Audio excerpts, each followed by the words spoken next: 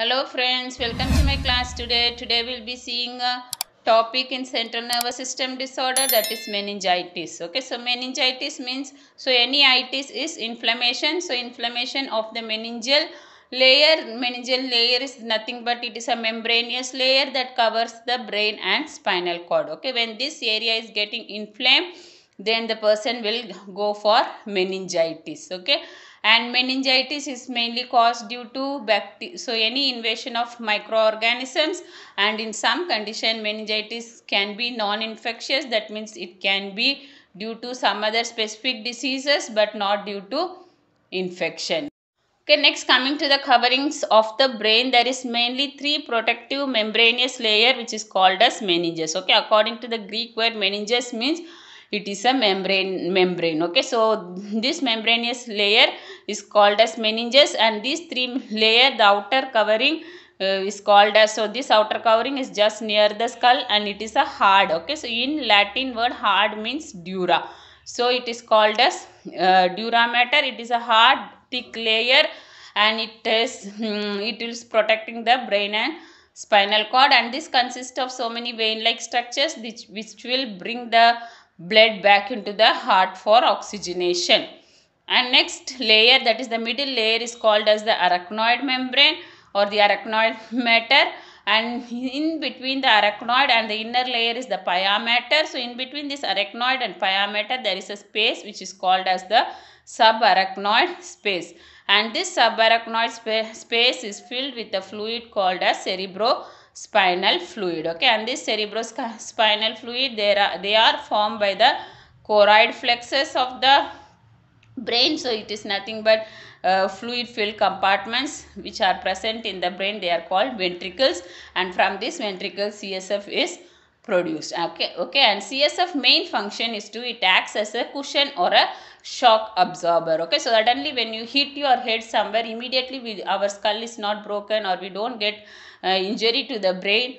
It is because this csf is a cushion or a shock absorber so that it will uh, prevent the uh, direct injury when there is a sudden hit of our head okay? Unless if the uh, hit is the pressure is too much in a too much that is the hit is very too, too of too much pressure then there will be uh, destruction or any damage otherwise when it is a minor hit then this csf will spread the fluid and it will uh, act as a shock absorber for the brain. And also it has uh, this CSF will provide nutrition rich substances like electrolytes and all other vitamins and all the glucose etc will be supplied uh, or it is circulated through the CSF to the brain and the spinal cord and the last inner layer is called as the pia mater so according to latin word pia means soft so the soft layer is the uh, pia mater and that it is just a covering which is directly uh, in touch with the brain and spinal cord. Okay, and when we see the types of meningitis, there is bacterial, viral, fungal, protozoal, amoebic. So these are according to the organism that is causing the uh, meningitis and non-infective meningitis. Okay, so this classification is uh, as per Center of Disease Control that is CDC. And coming to the bacterial meningitis, so it is a very serious type of meningitis and needs immediate medical attention.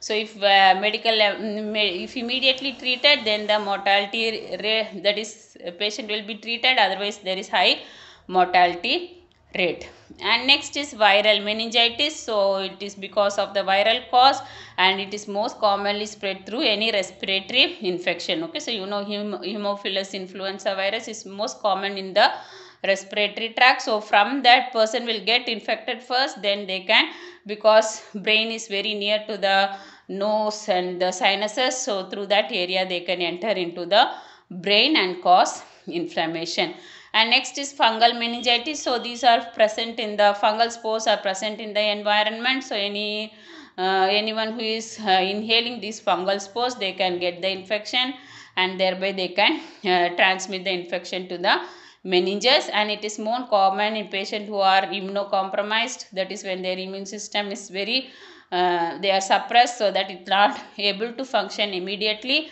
like patients with diabetes mellitus, HIV, AIDS and cancer. So these patients, the immune system is not uh, effective or is not healthy. So these patients are more prone for getting the fungal meningitis.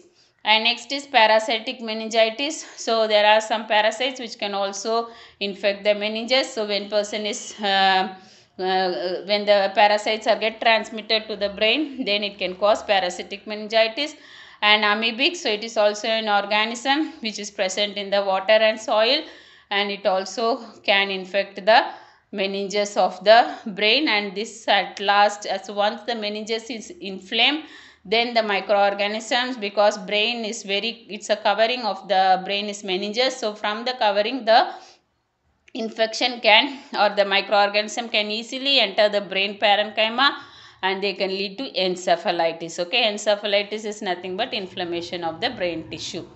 And next is non-infective meningitis okay? So all these conditions we are said before it is uh, infective meningitis or uh, they are due to some microorganism.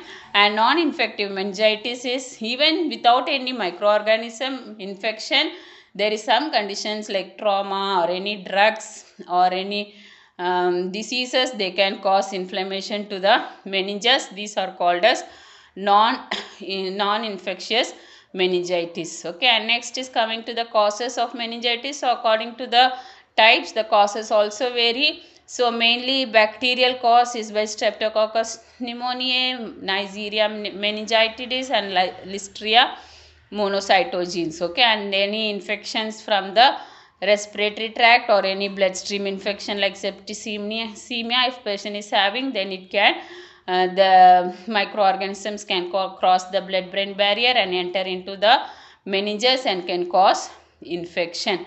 And next it is viral cause. It can be due to any haemophilus influenza virus enterovirus arbovirus human deficiency virus that is hiv herpes simplex virus that is HSV and uh, chikungunya virus, Zika virus. So these are the virus which can also infect the meninges and they can cause meningitis and fructo fungal cause fungal cause is by cryptococcus histoplasma blastomyces coccoides and candida so these uh, fungal spores are present in soil or any bird uh, droppings. Okay, bird dropping is when the shit of the bird is dried and from that the fungal spore can uh, germinate and decayed woods and leaves. Okay, so when decayed areas of the wood and leaves, these fungal organism will be present. So when person is in contact with this area, then they can get infected. Like parasitic infection, it can be due to eosinophilic meningitis, angiostrongylus cantonensis, Baylisascaris procyonis and Gnathostoma spinigerum. Okay, so these are all some parasites which can infect the uh, human brain and it can cause meninges and these can be transmitted by eating raw or undercooked foods like snails, fish, frogs, snakes, poultry. Okay, so when we don't cook properly or wash it properly or when it is undercooked, then these parasites will live in this area and they can cause infection in the humans and exposure of contaminated feces from the environment okay? Even the feces they have the uh, good medium for growing this parasite so when person is exposed to that then he can get for get the parasitic meningitis okay? And next is amoebic causes. So the main amoeba is naegleria fowleri so this is living this lives in both soil and warm fresh water and mainly it is present in all the warm like if there is uh, during uh, spring or summer season in the lakes and rivers when the water is warm then the uh, amoeba will live in this area.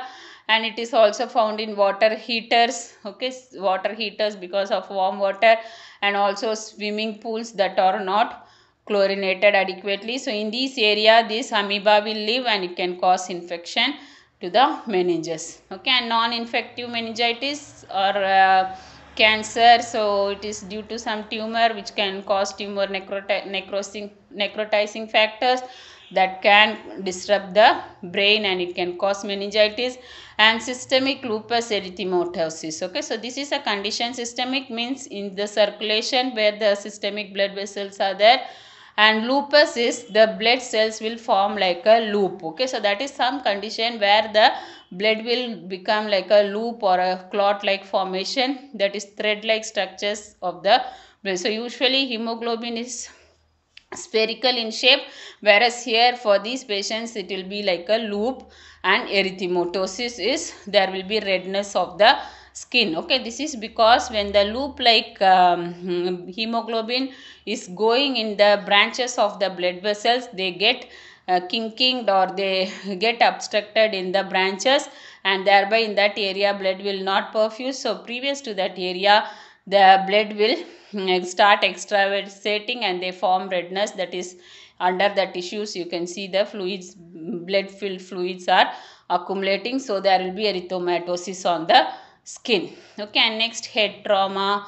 So here uh, there is injury to the meninges which can again cause inflammation and there, thereby it can result in meningitis and brain surgery. So surgery is also we are putting a cut on the brain. So again cut or any injury can cause inflammation. And certain medications when they cause cross the blood brain barrier they can also cause because it is a chemical they can cause chemical irritation of the brain and result in non-infective meningitis. Okay next is the risk factor of meningitis. So in coming to the age so infants and babies are more risk of getting bacterial meningitis because of their uh, poor developed immune system. Whereas uh, however um, even the older people or adult also uh, can develop bacterial meningitis whenever they are exposed to the bacteria that is causing meningitis. And uh, if person is having septicemia that is a blood infection then through the hematogenous that is through blood it can spread to the meninges. And person already had a respiratory tract infection and is treated then he is also more prone for getting meningitis.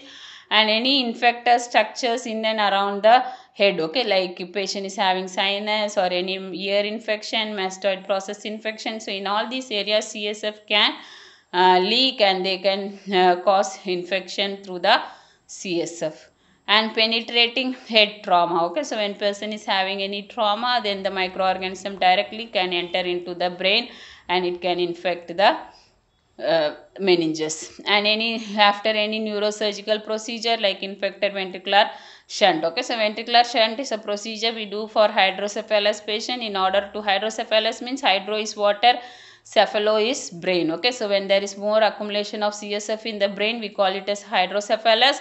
So in order to remove the excess excess uh, fluid they put a shunt called as ventricular shunt. So when these proceed when they do these procedures in an, when a strict aseptic technique is not followed or after the procedure when adequate surgery sorry adequate dressing is not done then the microorganisms can enter and infect the brain. And any congenital or acquired defects in the skull or spine okay? So like uh, by birth itself congenital means birth or acquired after birth there can be certain defects in the skull where the skull is not properly formed or there is problem in the development of the skull. So these persons are prone for getting meningitis and immunocompromised patients. So like patients whose immune system is weak due to some drugs or any cancer treatment. So any of these things can uh, be a risk factor for meningitis.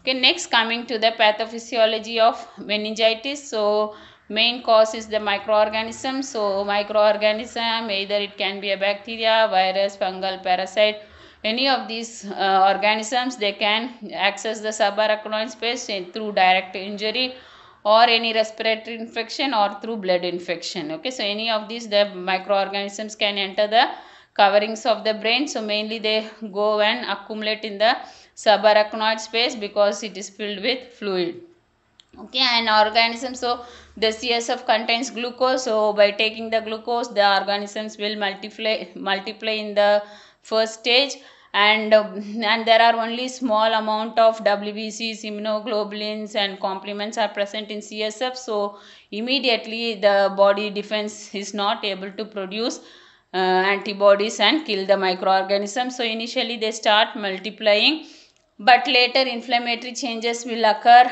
by like uh, once the bacteria starts producing some inflammatory mediators like endotoxins, cytokines, chemokines. Okay, so these are all some acids which the chemicals that the bacteria will produce when they produce our uh, that is the uh, the granulocytes macrophages which are present sparsely sparsely present in the CSF they get attracted towards these chemicals and they produce an enzyme called lysosomal enzyme okay? Lyse means destroy or killing. Somal is the cell okay? So they produce enzyme to kill the bacterial cell okay? So these free radicals and lysosomal enzyme which are produced by the granulocytes and macrophages they kill the bacteria. Okay? So the microorganism is the antigen and the antibody that is our body producing neutrophil granulocytes. So in the process of uh, destruction even the antigen and antibodies they start dying. So these cells will start accumulating. That means aggregation is accumulating in the brain and causing damage to the blood vessels nerves and brain tissue. Okay so when they are get damaged that is mainly if the blood vessel is getting damaged the vascular permeability of the blood vessel will increase. Okay so when you see the blood vessels they are made up of concentric cells. That means cells are very compactly arranged so that blood will not leak outside. Okay so whereas in when the when there is destruction of the blood vessels that is the cells will go far far. Okay so in between the cells there will be place the compactly arranged will become loose so that the blood will start going outside okay? So that is increased vascular permeability. Permeability is permission to go outside. So the fluid in the blood will start extravasating and they fill in the subarachnoid space. And already CSF is there in the subarachnoid space. So with the excess fluid that is coming from the blood vessels they both join together and they increase the CSF in the ventricles which can cause cerebral edema. Okay edema is accumulation of fluid in the tissues and cerebrum is the brain. So the brain tissue will be accumulated with the fluid and which will cause increased intracranial pressure. Okay so the pressure uh, is nothing but the pressure in the csf will increase. So and brain is um, compactly present inside the skull.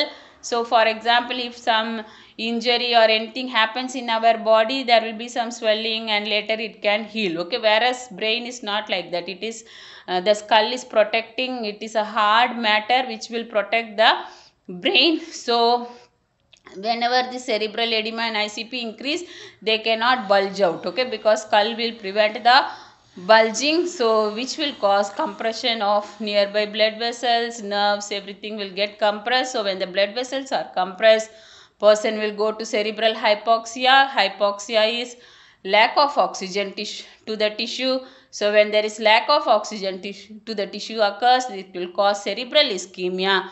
Ischemia means death of the cerebrum that is brain tissue starts dying due to lack of blood supply. And again if nerves do not get blood supply the nerves will go for damage. And again due to compression nerves will get damage and necrosis of all the brain cells will occur in case of meningitis.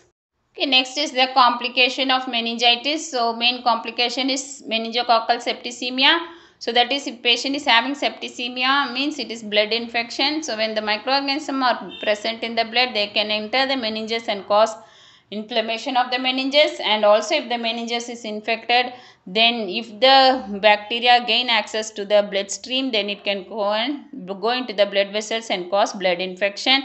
So when there is blood infection the infected the blood vessels can get destroyed and there will be bleeding inside the skin and organs. And this bleeding inside the skin and organs will be uh, identified or it will be manifested by a dark purple rash. Okay so this you can identify by a glass test. So in glass test you have to take a mirror glass. Okay that is the tumbler which is in mirror. Okay that is the glass uh, you have to take. And on the area where the rash is there you have to just press it and keep. Okay so through the glass then you have to see for the rash. Okay if the rash is clearly visible in the glass then it is positive for meningococcal septicemia. Okay and next is arthritis.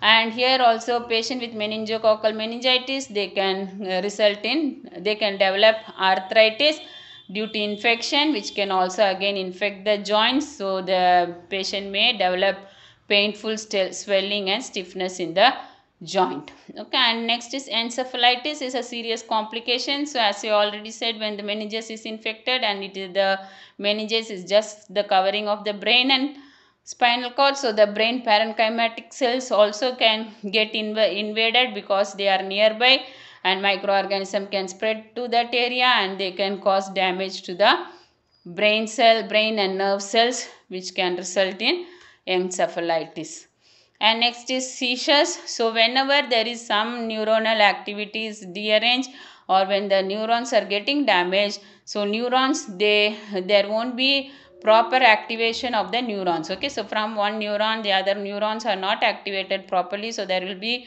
changes in the electrical discharge between the neurons which can result in uncontrolled spasms or convulsions. Okay so there will be repeated uncontrolled activity of the body that is called as seizures. Okay so it is nothing but fits. And next is coma. Coma here patient will have a prolonged unconsciousness and patient will be uh, lack to the environmental stimuli. He cannot respond to environmental stimuli. So again this is because meningeal cells are damaging the neurons. Okay and next patient can go for non communicating hydrocephalus so this is a due to cerebral edema okay? So in pathophysiology i have said patient can go for cerebral edema and also the uh, the uh, death cellular debris that are coming due to infection okay? After infection the antigen antibody they form like a debris. The, these can form a exudative adhesions. Adhesions means they can stick on the walls of this meninges and they because of this the normal flow of csf can obstructed and thereby the, there is an arachnoid villi which will absorb the CSF so that absorption will not take place which can result in more edema and fluid accumulation within the uh, within the brain coverings that is called as non-communicating hydrocephalus. So when is when hydrocephalus is there then we have to put a ventricular shunt and remove the fluid. Okay and next is Waterhouse Friderichsen syndrome. So it is one of the complication of uh, meningococcal meningitis where patient will have symptoms of DIC. DIC is disseminated intravascular coagulation, hemorrhage and shock. So these are all because the necrotic tissue, okay, that is when the antigen antibody die, that is the infected tissues, these will enter into the blood vessel and when the blood platelets will join with the necrotic tissue and they form like a clot here and there okay so in some area there will be clot and some area there will be bleeding. And when there is bleeding the inside the blood vessels there won't be adequate blood blood supply. So organs will not receive adequate blood supply so patient will go for shock. Okay and finally there may be a permanent neuronal damage. So if the nerves are permanently damaged so which all the part of the brain is getting damaged and that part what activity it does that will be lost okay? Uh, when the optic nerve which is supplying the eye is damaged then patient will go for blindness and if there is any temporal nerve damage then patient will go for hearing loss okay? So like this paralysis. So whatever uh, brain uh, cells are damaged so according to that area part of the brain what activity it does in the body that will be permanently damaged okay? So these are the complications of meningitis and next coming to the clinical manifestation there is uh, neck stiffness so stiffness of neck and Brudzinski and the Kernig sign okay? Okay coming to the classical signs and symptoms of meningitis. First is nuchal rigidity. So in nuchal rigidity you will try to flex the neck of the person okay? When you try to flex like this if there will be stiffness here the person will not be able to flex the neck. That is called as nuchal rigidity. Okay, and number two is the Brudzinski sign, supine position.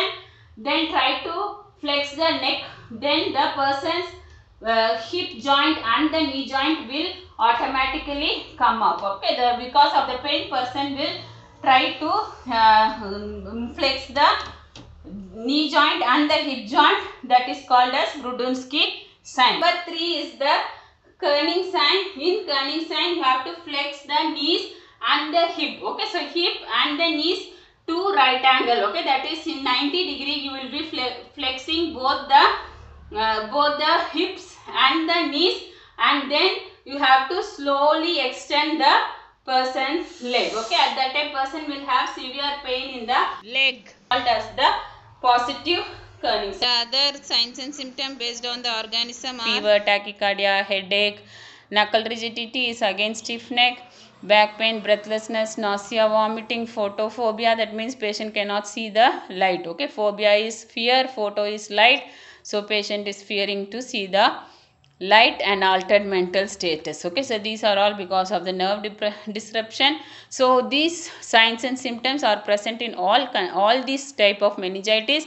And extra in case of viral meningitis there is again sleep disturbance nausea vomiting irritability anorexia is lack loss of appetite and lethargy is lack of energy so the patient will be very lazy.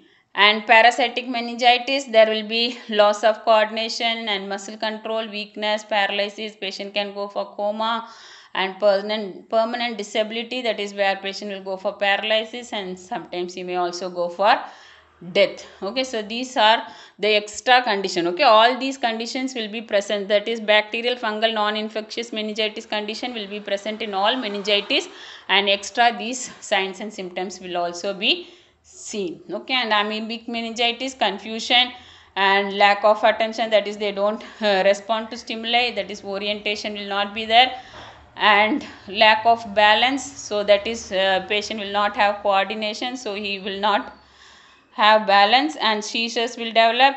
Seizures means fits hallucination. Okay hallucination is nothing but when there is no environmental stimuli person will feel that. Okay suddenly he will feel someone is running someone is going. So when nothing is there also he will have the uh, hallucination in his mind that something is happening. So these hallucination will be perceived by his five senses. Even if the uh, even if the activity is not done that is called as hallucination. Okay and next is the signs and symptoms for children and infants. So patient children will have fever jaundice is yellow discoloration of the skin. Okay this is all because of dic where the blood is not properly circulating. So there will be destruction of the rbcs and the end product of the destruction is bilirubin. So this bilirubin will uh, accumulate in the skin and all the eyes and the urine which will cause jaundice okay? Bilirubin is what gives yellow color discoloration.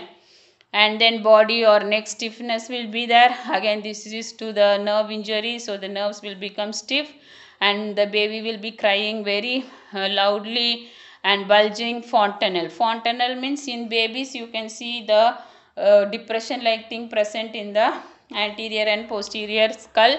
So that fontanelle will be bulging. This is because of hydrocephalus and the cerebral edema. Okay and the baby will show behaviors very irritated. That is you cannot control or we cannot comfort those behaviors. Okay baby will be crying and moving here and there and uh, showing some irritated behavior. Okay and sleep and difficulty waking. Okay so sleep disturbance will be there. So very uh, difficultly we have to make the baby sleep. And once baby sleeping baby keeps on sleeping. So it is also difficult to wake up and irritable and fussy okay? So very irritable and fussy is not uh, not willing to do anything so very crying like that okay? And weak and poor sucking reflex okay? If the baby is taking breastfeed or any feeding baby will have the poor sucking. Diagnostic findings you will be collecting the history. So in history you can identify what type of infection and the mode of spread of the infection. And physical examination will show positive for nuchal rigidity that is neck stiffness and positive Brudzinski and the Kernig sign. And we have to do a lumbar puncture and CSF analysis okay? So because uh, the CSF also will be infected so you can collect the CSF fluid and send for investigation. So when you collect the CSF the appearance will be turbid and cloudy that means that it is infection. Usually it should be clear okay and WBC count will be elevated more than 500 per microliter. So and the normal WBC count is 0 to 8 per microliter in the CSF analysis. So in case of uh, viral it will be more than 25 to 500 in case of bacterial it can also be more than 1000 per microliter okay and protein so protein will be more than 50 milligram per deciliter. This is because the bacterial cell also contains protein. Our antibodies all contains protein so they all will start destroying so the cellular debris will be present in the csf so there will be increased protein more than uh, 50 milligram per deciliter. So normal will be 15 to 45 milligram per deciliter okay and next is the glucose. So glucose will be less than 45 milligram per deciliter because once the infection enters the csf i said in pathophysiology the microorganism will consume the glucose and they start multiplying. Okay so because of that the csf glucose level will be less. So normal glucose is 45 to 75 ml sorry 75 milligram per deciliter in the CSF fluid and the culture it will shows the presence of bacteria and PCR that is polymerase chain reaction. If it is positive then it will show the viral infection. Okay so lumbar puncture is the main goal of doing the investigation to find out meningitis. And next we do a complete blood count. So if the person infection has come into the blood then the WBC also will be increased in the blood and in case if patient is having uh, DIC then we have to do the coagulation profile. So it will show bleeding time clotting time prothrombin time partial thromboplastin time and the INR ratio which all will be dearranged in case of clotting defects. And other imaging studies you have to do a skull x-ray because if patient is having a sinus or any injury so this condition also they can transmit the infection. So you have to identify whether a sinuses everything is clear. And then we have to do a CT scan or MRI so here in case patient is having cerebral edema hydrocephalus or any increased intracranial pressure or if the patient is complicated to a brain abscess that is localized pulse collection in the brain. So all those things you can identify using a CT scan that is computed tomography, MRI is magnetic resonance imaging.